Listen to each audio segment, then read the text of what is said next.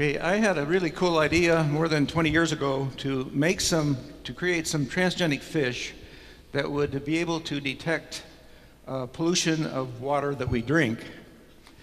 And as you all know, uh, there are more than uh, tens of thousands of toxic waste dump sites, fertilizers, uh, pesticides, herbicides that are dumped into the soil, 75,000 chemicals each year, many of them new chemicals.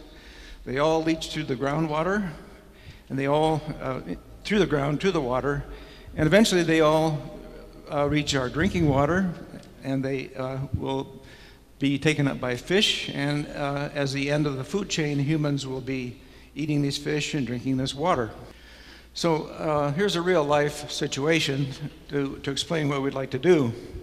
Uh, 25 miles east of Cincinnati is Lake Harsha, which is the water, drinking water supply for more than 60,000 residents of Clermont County. And more than 10 miles to the east of this uh, lake is a chemical company which uh, is now bankrupt and uh, is no longer ex exists. But during several decades, they dumped thousands of gallons of PCBs, which are carcinogenic, toxigenic, uh, cause birth defects and everything, into the ground. A lot of the uh, PCB liquid was just uh, un, un, in, without containers. Some were put in barrels and buried in the ground. And uh, these barrels obviously are going to be rusting. The chemicals in the brown, ground are going to be going deeper and seeping into the groundwater. And eventually we'll be coming down Pleasant Run Creek into the East Fork of the Miami, Little Miami River and uh, enter the possibility of entering the drinking water supply. So wouldn't it be nice to have some sort of detection system between the source of the pollution and the drinking water supply for so many people? I might add that one coffee cup full of PCBs dumped in the middle of Lake Harsha and stirred around would destroy all life in, in the lake. It's that potent. So this is sort of like having a canary in a mine, an early detection system before uh, there's pollution downstream, so we know uh, when does the pollution start? How bad is it? What is the rate of increase? And so on. So uh, we chose a zebrafish, which is a very hardy fish. It's about the size of a guppy.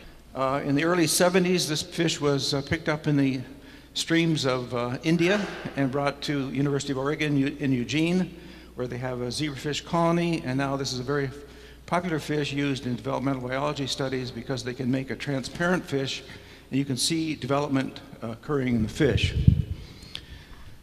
Uh, the other nice thing about this is they live as long as five years. So this is, uh, mouse lives uh, two or three years, which is what I usually work with. Uh, and uh, so genes are made up of DNA, and the genes are strung on all of our chromosomes, pretty much like so many pearls on a string.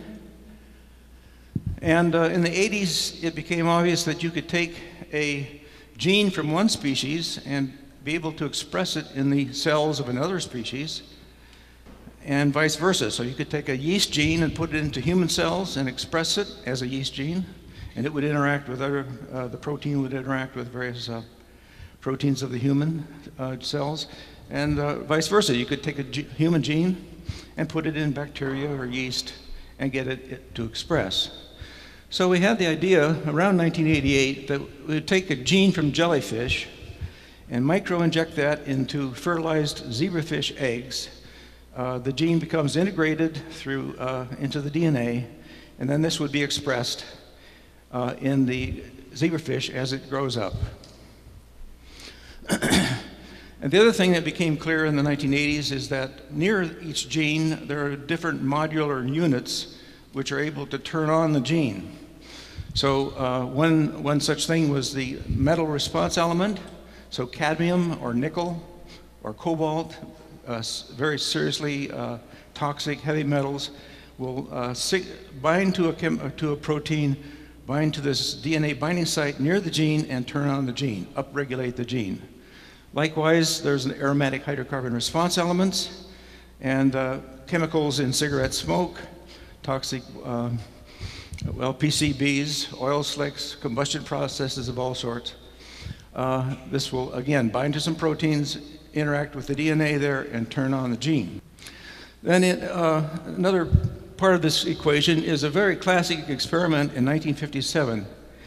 B.B. Uh, Brodie put a uh, 10 millimolar solution of a tranquilizer uh, into three different sized vessels and then added a goldfish to each vessel and demonstrated that the goldfish in the large vessel, vessel uh, died almost immediately.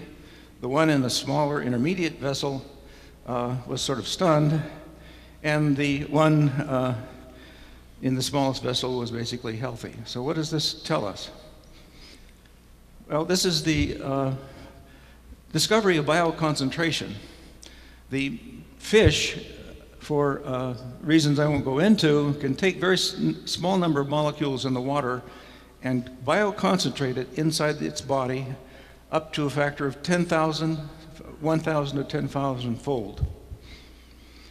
So uh, we had a federal grant for four years in the 90s, and uh, with the help of Mike Carvan and D Tim Dalton in the lab, we uh, generated zebrafish, exposed them to pollutants in the water, they would in turn interact with these, these uh, response elements, turn on the green fluorescent protein gene in the, the zebrafish.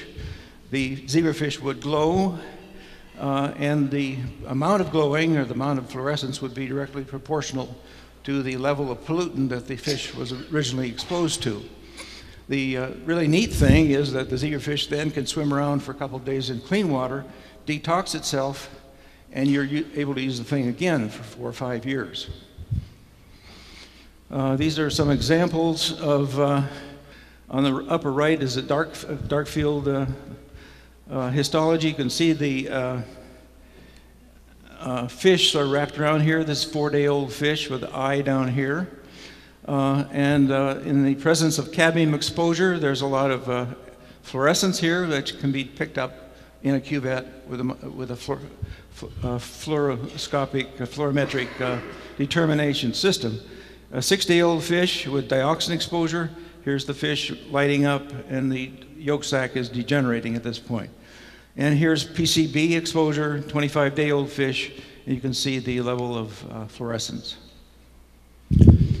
So uh, what's next? I don't have any businessman genes. If I wanted to make money, I would have been a heart surgeon. So uh, what we need is an entrepreneur. I've had several offers of venture capital money from Germany and, and England. Uh, maybe you need to pay the salaries of uh, two uh, molecular cloning experts who are good with their hands in the lab. A zebrafish facility is very, very trivial. You can, you can have a thousand fish in about 200 square feet. You need a microinjection apparatus, which is not very expensive. And then you can sell these fish worldwide to detect water uh, pollution, similar to the situation in Lake Harsha. And then, as an aside, you can probably run the, the entire business on the money that you make by making green, yellow, blue, and red. All these uh, genes are now available from different uh, uh, marine biology organisms. So you can turn these things on. People can buy these for their home aquariums and the fish just looks normal, and then you turn the uh, fluorescent light on the tank, and they suddenly glow red, yellow, green, blue. Thank you.